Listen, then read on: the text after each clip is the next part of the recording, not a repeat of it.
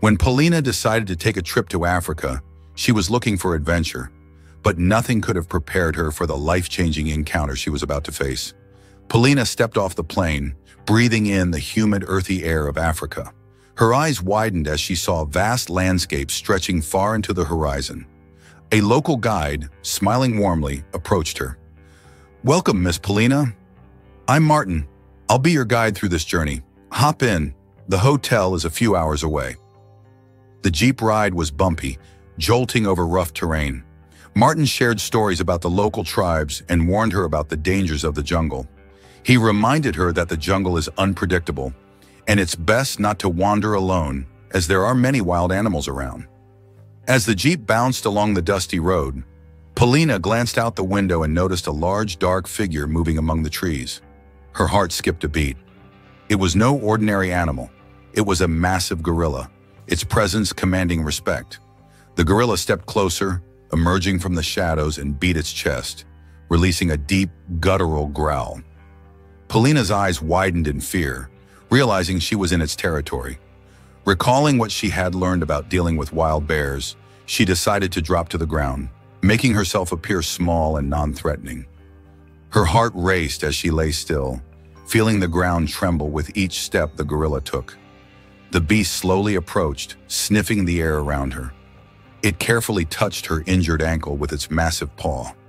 She winced in pain, letting out a soft, muffled cry. The gorilla hesitated, pulling back its hand, then grabbed her gently and threw her over its shoulder as if she weighed nothing.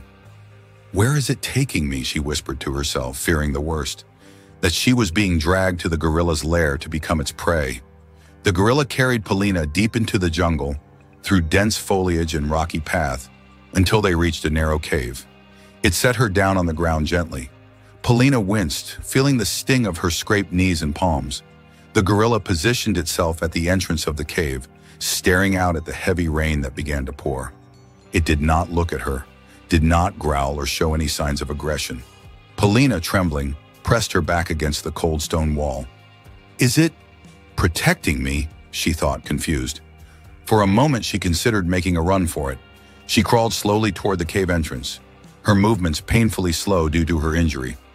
Just as she reached the exit, the gorilla blocked her path with a swift, intimidating move. It bared its sharp fangs and let out a deafening roar. She froze in place, eyes wide in terror, realizing she had no chance against such a powerful creature. She backed away, understanding now that the gorilla wasn't attacking her, but was preventing her from leaving. As the rain continued to fall, the gorilla kept its eyes fixed on the jungle, standing guard. Polina noticed its alertness and realized it wasn't threatening her, but keeping watch over the entrance. She took a deep breath, her initial fear slowly giving way to a strange sense of safety. Are you protecting me? She whispered softly, almost in disbelief. The gorilla didn't respond but glanced briefly at her before returning its gaze to the rain-soaked jungle. Polina remembered her phone. With shaky hands, she dug into her backpack. Everything was soaked, but she managed to dry her phone on her shirt. Her heart leaped as it flickered to life. She quickly dialed the emergency number. Hello? I'm lost in the jungle. A gorilla. It's with me, but I think it's protecting me. Please send help, she said, her voice filled with desperation. The operator's voice was calm and reassuring instructing her to stay put and keep the line open. Polina set the phone aside and looked at the gorilla, which now seemed less like a beast and more like a guardian. Thank you for saving me, she said softly, filled with gratitude. She pulled out a small piece of bread from her bag and hesitantly offered it to the gorilla. It eyed the bread with suspicion, sniffing it cautiously. Polina took a bite herself, smiling gently. See? It's safe. It's food, she encouraged. The gorilla, finally convinced, took the bread from her hand and ate it. Polina felt a wave of relief wash over her. Hours passed and she sat next to the gorilla, feeling an unexpected bond forming between them. The sound of approaching footsteps and shouts broke the silence.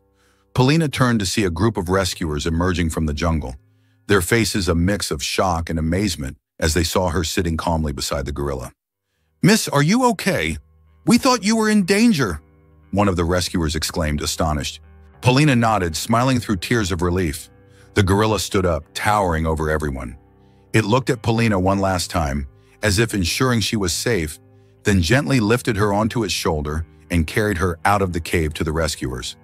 As they reached the clearing, the gorilla set her down and slowly retreated into the jungle. Polina watched it disappear among the trees, feeling a deep sense of gratitude. I'll never forget you, my gentle giant, she whispered to herself, emotional.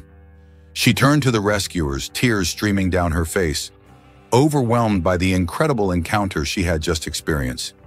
Sometimes help comes from the most unexpected places, and friendships are born from moments of fear. Polina's journey was one she would never forget, not because of the danger, but because of the kindness she found in the unlikeliest of friends.